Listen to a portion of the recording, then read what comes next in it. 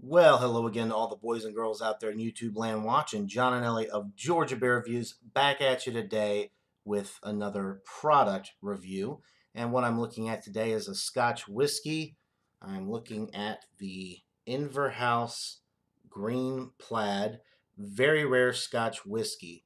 Now, we did an examination over on Louisiana Beer Reviews, so go check that out if you haven't already and look for Ron's solo review of this product for a much more detailed and better review than what I'm about to do here. But anyway, this product was introduced, I believe, sometime in the 60s. Um, it is a Sazerac brand. One interesting thing, Inver House is actually a distillery in Scotland. And this distillery, the Inver House Distillery, makes this product for Sazerac. Um, this is a 1.75 liter bottle, which I got for $9.99. I believe that was a markdown price. There were only two left on the shelf. Uh, the bottle had dust on it. It obviously had been sitting there for a while. Uh, normally, I think you could expect to pay between 13 and $15.99 for this size bottle. I know Ronald Terrio got his uh, 750 ml bottle for $9.99, so that's probably about what you're going to pay for that size normally. Uh, anyway, if you could find it for this price, definitely for $9.99 for a 1.75 liter bottle, definitely check it out. Um, but I don't think you will. Now, Inver House is actually a subsidiary of a company in Thailand. Kind of a strange little fact uh, about this company. Um, it says aged three years, imported by and bottled for Barton Imports, Chicago, Illinois. Product of Scotland. All right, let's go ahead and pour it up.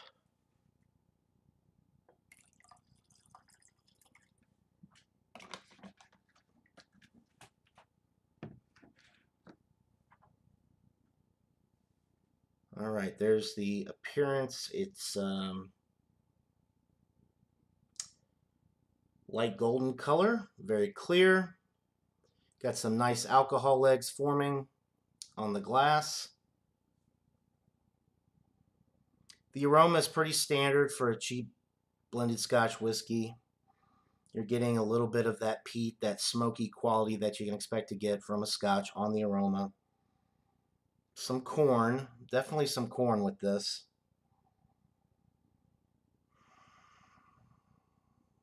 Kind of a little sweet on the aroma. Almost like a cream corn type note. It smells very pleasant, nothing offensive whatsoever about the aroma. It's just really not that complex. But what do you expect for this price point? So let's go ahead and get into it. Cheers, guys.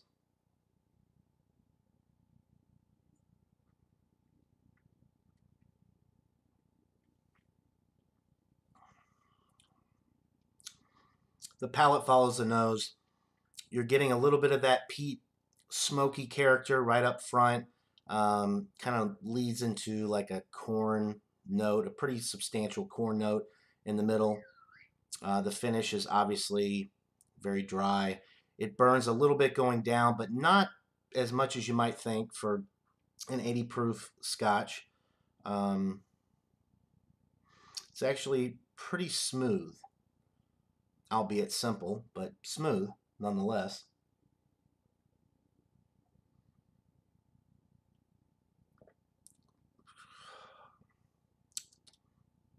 That's pretty much all I'm getting, guys. It, it's very simple.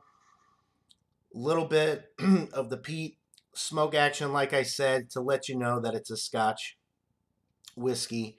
Um, definitely, you know, definitely has the corn notes on the palate. The finish is pretty smooth, slight burn going down. Maybe just a touch of caramel.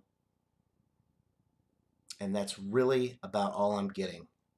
Simple. Uh, it's okay to sip on neat, but this is something that probably 95% of consumers are mixing this into their favorite cocktail uh, because it really doesn't have a lot of depth of flavor it doesn't have a ton of character, but there's nothing bad about the character that is there. It is very smooth and easy sipping. Uh, you could put this on the rocks with maybe a little, I don't know, lemon or lime twist or something like that. Maybe amp it up a little bit. But for the most part, people are mixing this into their cocktails um, because there's really not too much there. It would mix well with just about anything because there's nothing offensive. There's nothing really strong about the flavor. It's just mellow from start to finish. So an excellent mixer for sure. Uh, if you can find it for $9.99 for a 1.75 liter bottle, like I said, definitely worth checking out at that price point, especially if you're just going to buy it and use it in cocktails anyway. Um, but I would definitely recommend it if you can find it. I've heard that it can be kind of tricky to find. Um, it's not very popular in my area. There's only one store that I know had it for sure. Um, and it, at this price point, I couldn't. There was no need to continue shopping at other stores. I mean, you're not going to find it for $9.99 for a 1.75 liter bottle uh, very often, if ever. So I'm going to give this a B. Um, I haven't been giving specific numerical ratings for products like this, but I did on the examination that I did with Ron Ontario the other day. So, and I'm going to stick with that rating. I'm going to give it an 83 out of 100. It's a B. Um, it's definitely good, easy drinking, like I said, but there's really just not much there. And I think you could do better at this price point.